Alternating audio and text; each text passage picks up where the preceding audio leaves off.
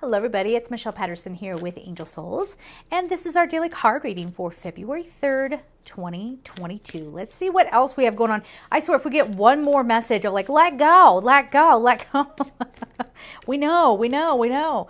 Man, let's see what opportunities might be coming up if we let go. How about that? Hmm, it is. Queen of Michael. Okay.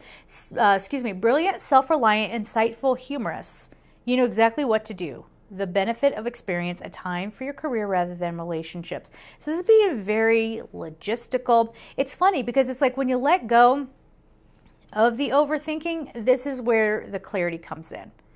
And, you know, this might be cutting through the nonsense too, where it's just like, you know what, this isn't working. Okay. Or, you know what, maybe having a conversation with yourself. You got to try something new. You know what? How much more time are you going to let go by before you allow yourself to be happy? You know, it has this, um, that hard truth kind of feel. And yet, I do, I do feel like it might be coming through somebody else, right? It could be somebody coming and saying, you know, enough is enough. It can't go on like this. Um, yeah, clearing up communication issues, which have been kind of tough. I think you know we were in Mercury retrograde, right? Um, or is it going direct today? I don't remember. Anyway, the point is here is that something turns, it's like somebody turning around and going, Will you stop?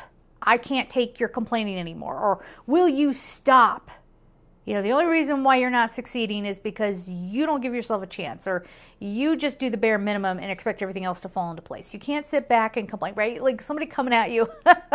it does have that feel. So just be ready for that. Someone maybe coming off a little more harshly than they meant to, maybe for some of you. Um, and yet for others, it is just a realization and going, you know what? Time to cut the ties because I'm hearing cut the ties, cut the cut the cords. So do you sit around waiting for someone to offer you an opportunity or do you sit and think okay what would be kind of cool and then you know to do next and then you go on out and see what what's out there, right? Um, so being proactive but not over controlling. Taking charge of your life without over analyzing and pushing too hard. Balance, right? It's all about balance. So we're going to leave it there. We'll see what comes up for tomorrow. I'm sending you all so much love and take care.